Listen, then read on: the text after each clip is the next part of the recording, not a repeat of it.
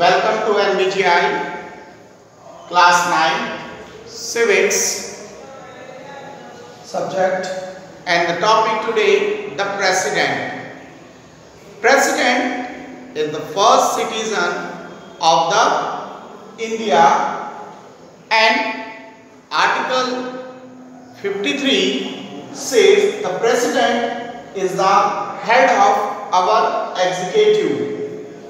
But we have seen, we have told uh, that the President is the, the uh, head of executive, but it was a nominal head because all the work of the center level happened by the name of President and the full power also enjoy the prime ministers and his cabinet. So the president is the nominal head of our executive also and whose member are participate in the election of president. We have says that the president election are not directly happen. It means that the people are not directly participate in the election of president. President. So uh, the representative members are participate in the election of president. We have says all the elected members of our parliament Lok Sabha and Rajya Sabha members are participate in the election of president and also all the state and union territories legislative assembly elected members are participate in the election of president also.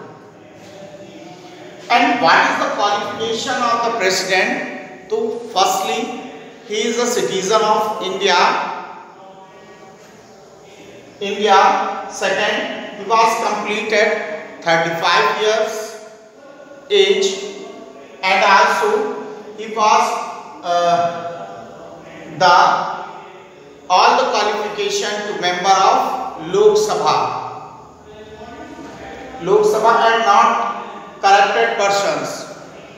To show that this qualification are compulsory for the president. And what is the power of the president? We have also says that all the work of the center level are happen by the name of president. So he was many appointment uh, in the different places on the advice of Prime Minister.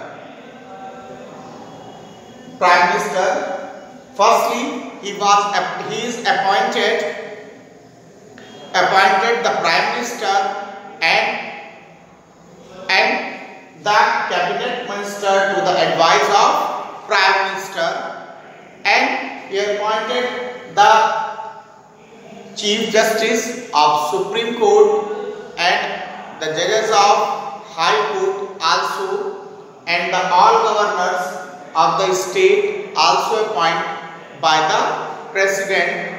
And the election commission members also appoint the President. And many other many are other appointment of uh, uh, appointed by the President. And he was also the head of the all the armies. All the head, head of all the armies and and also so he was